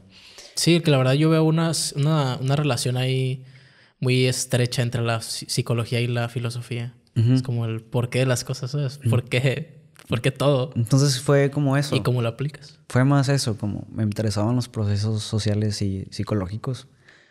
Y ya luego se fue especializando las cosas que más me llamaban la atención. ¿Y por qué no la filosofía? Honestamente, porque la psicología es más capitalizable. Tiene sentido. Pero te hubiera gustado la filosofía. Sí, lo, lo, lo, pensaste. Lo pensé y lo pensé hace poco también. Muy, muy, o sea, como de que segunda carrera. ¿Por qué crees que sea así? ¿Crees que hay una, una agenda política detrás de ese motivo? Pues. Porque pues, al final de cuentas, si te pones a educar a la gente, pues. Pues la filosofía es mucho tiempo de ocio, mucho tiempo de estar sin hacer nada, pensando. Y el capitalismo necesita que hagas algo. No puedes estar no haciendo nada, pensando. O sea, ¿crees que nos educan para ser parte del sistema capitalista? Pues es que Y terminamos decidiendo no ser filósofos. Pues no es como que lo estén haciendo a propósito en sí, sino que es ese ausente preimplícito que te digo que... Eh, no nos dicen de que, ah, tienes que, pero... Sí, es como, pues, es como libre mercado, ¿no? Es como, ah, tú puedes comprar lo que quieras, pero nosotros te vamos a mostrar todo lo que creemos con base a los algoritmos que quieres comprar para que termines comprando lo que nosotros queremos, pero que tú piensas que tú querías. No creo que sea como un plan malévolo, que, pero es el resultado de muchas cosas que se van a dar así. Sí, o sea, la filosofía quizás no se ha pensado que no sí, que, ah, como que hay que eliminar la filosofía, pero no tiene uso dentro del sistema en el que estamos. Si tuviéramos otro sistema, a lo mejor sí, pero en el actual no. Lo mismo con el COVID. Ah, el COVID lo inventaron en un... Laboratorio. No, güey, o sea, como que quizás sí, sabe, pero no vamos a entrar en esos temas y pensemos que no, pues si no fue creado, entonces pues lo que pasa es que se expresa aquí y obviamente como que lo manejan desde el modelo en el que está, capitalista, y se empieza a ver como todos los fallos, se expresa más, porque pues estamos en este modelo, si estuviéramos en otro modelo, pues... Tal vez no. Ajá, se vería distinto. ¿Tienes alguna opinión acerca de, esos modelos, del modelo actual, de, la situación de, de haber visto el socialismo, el capitalismo, en, en, en, el, en cómo vivimos actualmente? ¿Te has puesto a pensar en eso? Sí, um, pues creo que he encontrado muchas respuestas bonitas dentro de las comunidades indígenas de México. Me, me, gusta el acercamiento que tienen muchas feministas comunitarias, que son feministas que, incluso personas que no se nombran como feministas, pero que son eh, mujeres de pueblos originarios que su apuesta política es generar comunidad. Sí, o sea, estamos acostumbrados a que la política sea un representante de todos.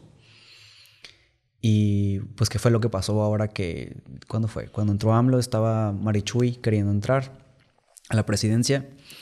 Em, y sabía que tenía que, sabían que tenían que utilizar un recurso para entrar dentro de la política actual, nacional, entonces la pusieron a ella, pero en realidad ella era una vocera de muchas voces, una ampliación de muchas voces, porque en los pueblos originarios se hace política comunal. No se toma como política desde nuestros ojos, pero es política al final de cuentas. Es política. Entonces creo que la política comunal es muy importante.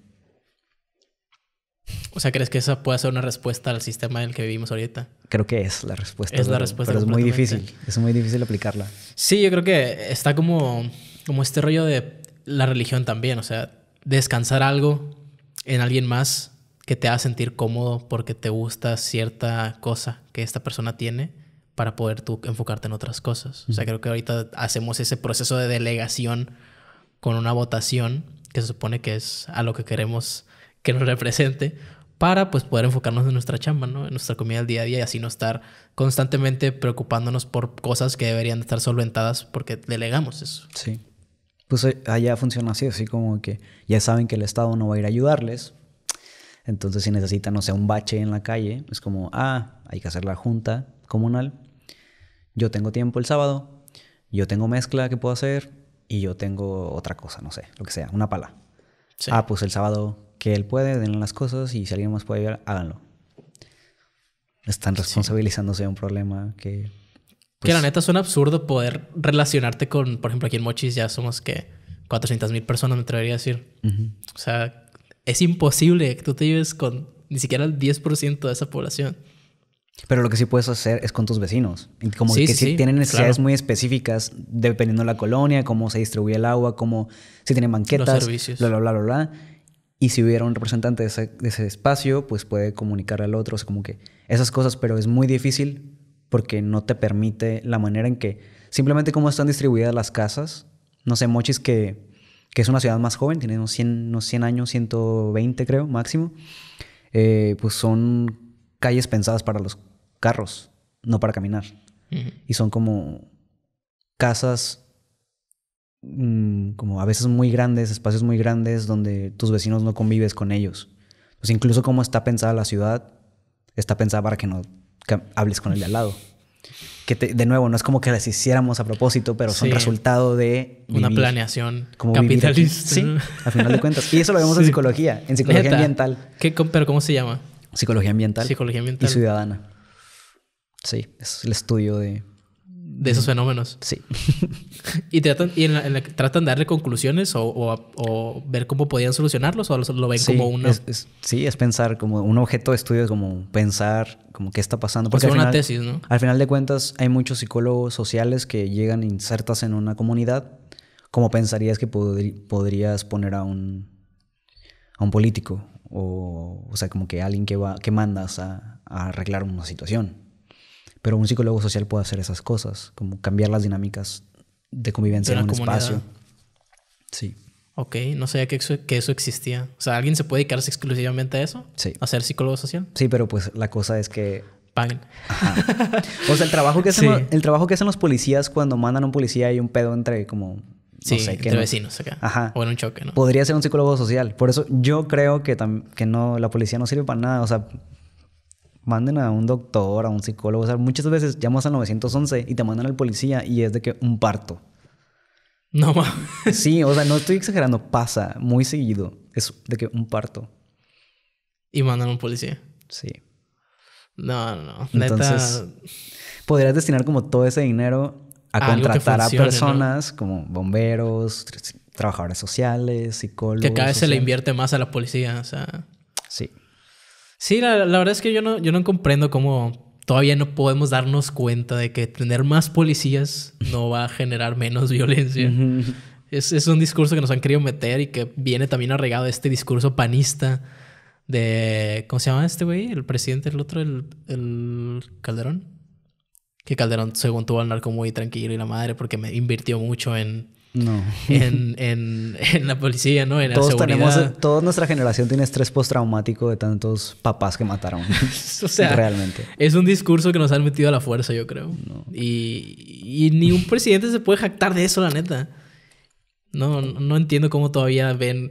No, no priorizan lo que tienen que priorizar, que es darle espacios recreativos a la gente para que pueda canalizar la energía que tiene y no termine siendo violentada y no termine siendo machista, ¿sabes?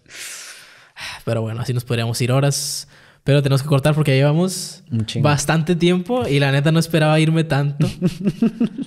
Digo, está bien, no hay pedo. No, no, no, no hay pedo. O sea, ha habido episodios más largos, pero me da mucho gusto, la neta, que nos hayamos aventado tanto tiempo y me da mucho gusto haberte tenido aquí en el programa. ¿Dónde te podemos seguir, Dante? Gracias por invitarme y por dar espacio para tener esta plática de muchos temas. Sí, igual estás invitado, ya sabes, invitado. Gracias. Estás eh, invitado.